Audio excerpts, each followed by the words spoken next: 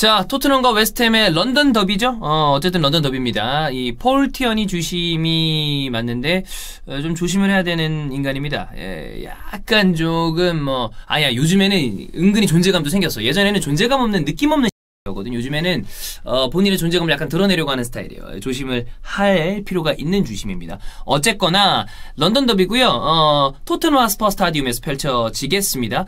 많이 주목이 되는 건 최근에 웨스트햄의 분위기가 최근 두 경기에 좋았고 토트넘은 역시 전체적으로 이적 시장을 잘 보내면서 분위기를 띄우고 있는 가운데 여러 가지 지표도 리그에서 1위를 차지하고 있는 데다가 역시 소니의 절정의 기량 그리고 해리 케인의 축구 도사적인 느낌 플러스 가레스 베일이 과연 이 경기에서 모습을 직접 필드 위에 드러낼 수 있을 것이냐가 가장 주목이 되는 부분이라고 할 수 있겠죠.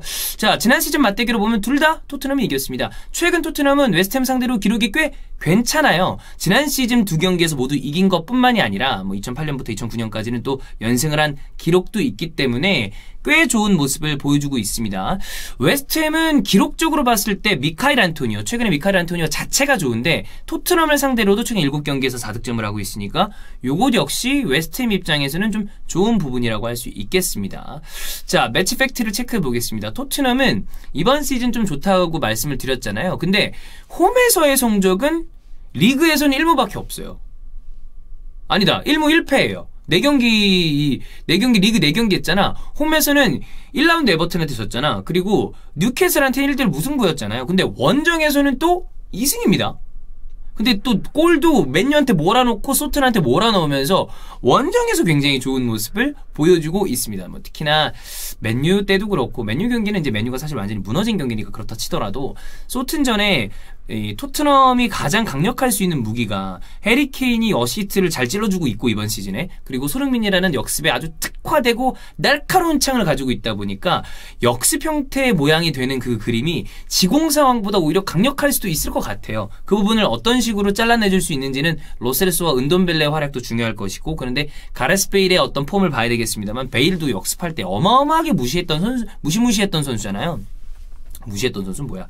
여튼 그렇기 때문에 오히려 원정에서 좀 좋은 기록을 보여주고 있는 것도 있습니다. 자, 무리뉴는 모이스 상대로 12점 무패라고 합니다. 아무래도 이 첼시 예전에 있었을 때 에, 그때도 에버튼에 있었을 때 모예스잖아요. 그러면 첼시가 오늘 극강이기도 했고 그렇기 때문에 기록적으로는 굉장히 좋고요. 소니 당연히 6득점으로 1위를 하고 있습니다.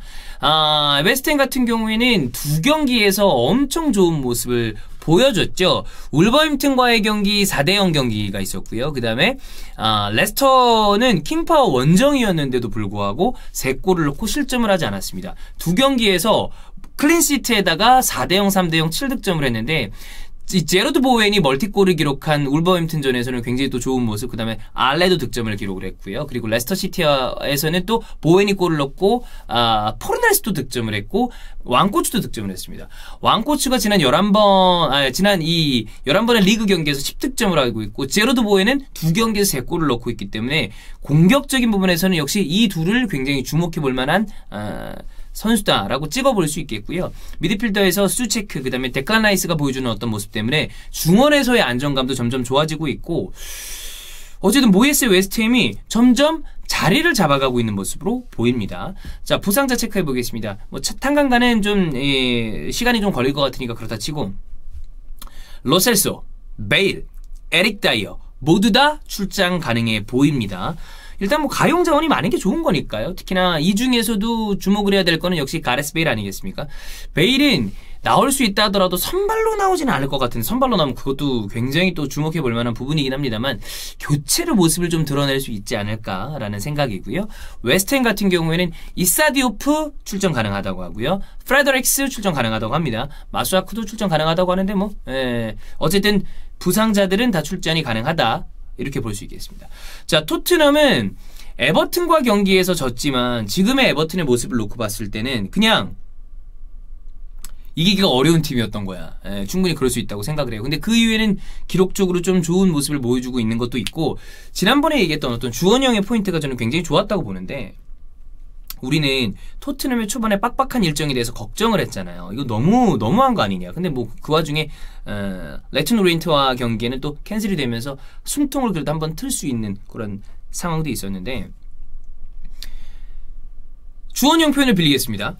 그 빡빡한 일정이 토트넘에게는 새로운 선수가 굉장히 많이 들어오고 조직력을 끌어올려야 되는 그 토트넘에게는 프리시즌과 같았을 것이다. 그도 그럴 것이 비교적 약체와의 경기도 있었기 때문에 특히나 어떤 마케도니아 원정, 불가리아 원정 이런 데는 못 이길 경 물론 뭐 좀 아슬아슬했던 경기도 있었습니다만 이겨야 되는 경기이기도 하고 쉬운 상대였잖아요. 그들을 이기면서 실전 이 실전인데 모의고사와 같은 그런 모의고사 실전 어딘가에 있을 것 같은 그런 프리시즌스러운 빡빡한 일정을 치르면서 호이비에르와 이 레길런, 도어티 새로 들어온 선수들이 안착할 수 있는 타이밍을 벌었다. 그러면서 해리케인의 축구 도사적인 측면, 손흥민도 막 몸을 풀면서 아주 좋은 분위기를 만들어낸 것이 토트넘이다. 뭐 제가 커뮤니티를 다 보잖아요. 락사도 보고 팸코도 보고 팸네도 보고 사클라인도 보고 다 보는데 어 이제 뭐 어떤 분들은 그러더라고요. 뭐 씨, 토트넘 왜 이렇게 띄워주냐. 근데 저희 캐릭터라는 것 자체가 사실 아직은 모릅니다. 토트넘은 조직력을 많이 쌓아야 됩니다. 지켜봐야 됩니다. 라고 하면 사실 할 게 없어요. 다 지켜본다 그러면 다 지켜봐야지. 그렇잖아.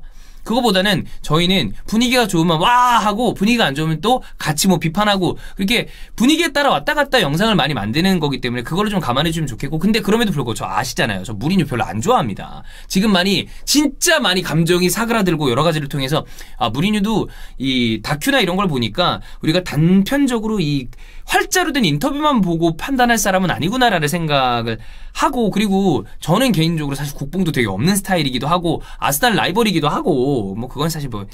뭐 그런 생각은 좀 많이 뭐 아, 라이벌 이런 생각은 좀 많이 없긴 합니다만 여튼 그럼에도 불구하고 토트넘이 최근 분위기가 좋은 건 사실이야 왜냐면 이적 시장을 진짜 잘 보냈거든 진짜 중요한 곳곳에 다 데리고 왔잖아요 그리고 조 로든도 이제 영입이 될 가능성이 굉장히 커 보이고 아 지금 제가 찍는 이 시간이 금요일 이 정오쯤인데 언제 오피셜이 뜰지 모르잖아요. 그렇기 때문에 그래서 토트넘의 분위기가 좋다고 말씀드리는 거지 뭐 우승 이런 거는 좀 이제 과장해서 얘기하는 거니까 또 주원이 형 과장의 또 황제 아니겠습니까? 근데 어쨌든 이 중에서 딸 수 있는 타이틀이 있을 수도 있다. 이런 부분을 생각을 해봐야 되는데 손흥민과 케인의 어떤 이런 부분도 좋고 호이비에르 때문에 생긴 중원의 안정감도 좋고 물론 센터백 라인은 불안합니다만 측면 자원도 레길런과 도어티 그리고 오리에도 지금 자극적으로 살아나고 있고 그렇기 때문에 분위기 좋다. 자 웨스트햄은 아까도 말씀드렸던 것처럼 두 경기 그것도 울버햄튼과 레스터는 이제는 크게 봤을 때 top 10 안에 들어가는 팀인데 거기를 상대로 clean sheet 원정 포함한 2연승 아주 훌륭하다라고 볼 수 있겠고요.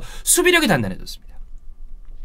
수체크도 그렇고 그다음에 데클란 라이스의 어떤 좋은 모습도 굉장히 훌륭했고요. 그리고 이 최근 경기들에 보면 일단 안정감을 보여주고 있는 이 이 레스터전에서는 back 5의 형태였단 말이야. 발부에나, 그 다음에 오그본나, 크레스웰, 그리고 이 단단하게 묶고 있는 마수아쿠를 윙백으로 세우고 이렇게 경기를 치른다 그러면 상대방 입장에서는 부담스럽죠. 특히나 지공으로 경기의 어떤 포인트가 넘어간다 그러면 토트넘이 경기를 풀어가기가 어려워질 가능성이 있습니다. 그래서 어, 지지 않는 법을 이 모예스와 함께 보여주고 있는 모습 네, 이런 느낌이 있고요. 그리고 또 크레이그 도슨 또 어, 왔기 때문에 이 선수가 바로 어느 정도의 모습을 보여줄 수 있을지는 모르겠습니다만 역시 수비적으로 단단해지고 좋은 분위기를 내고 있는 것이 웨스트햄이다. 자 이렇게 보면 될 것 같고요. 자 웨스트햄은 예상 라인업을 보지 않겠습니다. 웨스트햄은 예상 라인업을 보지 않을 거고요. 왜냐하면 어떤 선택을 할지 잘 모르겠어요. 이거는 저희가 아직까지 그 해외 언론의 예상 라인업을 보지 않고 얘기를 하고 있는 거기 때문에 이거는 배제하겠습니다. 토트넘은 어, 333을 쓸 것으로 보이는데 호이비에르와 윙크스를 두고 은돈벨레를 쓰는 형식이 이게 좀 아, 안정적이잖아요. 근데 아까 우리가 이 제가 찍을 때 이 지금 머지사이드 더비랑 같이 찍고 있거든요. 이거는 예상 라인업이 아니라 희망 라인업 보겠습니다. 이거 저는 호이비에르, 은돈벨레, 로셀소 다 썼으면 좋겠어요. 그래서 토트넘도 수비적으로 대, 나오는 팀들에게 우리가 눌러서 승점 3점을 딸 수 있다는 걸 좀 보여줄 필요가 있다. 그래서 호이비에르, 은돈벨레, 로셀소, 소니, 케인, 오른쪽에 루카스 모우라 공격적으로 나서고 베일을 교체 카드로 넣는 이 방향을 좀 써보는 게 좋지 않을까라는 생각을 개인적으로 합니다. back four는 그대로예요. 레길론, 도허티, 다이어, 토비 그리고 요리스 이렇게 가지 않을까. 이거는 제 희망 라인업입니다. 자 그러면 포인트만 체크해 보겠습니다. 토트넘은 베일의 투입 여부 이게 가장 궁금하고요. 소니가 쉬었어야 되는 타이밍이에요. 경기를 너무 많이 하지만. 그런데 쉬고 온 손흥민이 가끔 이렇게 조금 적응하는데, 적응이 아니라 폼을 올리는데 약간 시간이 걸릴 때가 있기 때문에 그게 어떻게 될지가 좀 궁금하고요. 그리고 후방 부분에 이 불안함을 조금씩 드러낼 수도 있는 수비 라인이 어떤 식으로 갖춰질까? 가 정도를 포인트로 보시면 될 것 같고요. 웨스트햄 같은 경우에는 미카일 안토니오가 토트넘을 상대로 강력합니다. 그래서 토트넘의 수비도 조심을 해야 될 텐데 이 부분 아마도 웨스트햄이 카운터를 때릴 가능성이 큽니다. 토트넘이 점유율을 차지하고 카운터를 칠 텐데 미카일 안토니오가 보여주는 어떤 카운터 moving과 함께 그 부분을 또 웨스트햄은 강력하게 좀 잘 가다듬고 나와야 될 것으로 보이고요. 그리고 무리뉴 상대로 모예스가 워낙에 열세기 때문에 이 부분을 어떻게 다질지 또 체크해 봐야 될 것 같습니다. 이 역시 저희가 이거 동해안 더비를 주원형이랑 같이 스틸야드에 갔다 왔다가 경기를 볼 거예요. 그렇기 때문에 조금 바투하게 들어갈 수도 있을 텐데 기대하고 있는 경기입니다. 또 손흥민과 케인, 어, 베일까지 KBS 라인 가동을 기대를 하고 있기 때문에 그 부분 이스타TV와 함께 하시면 되겠습니다.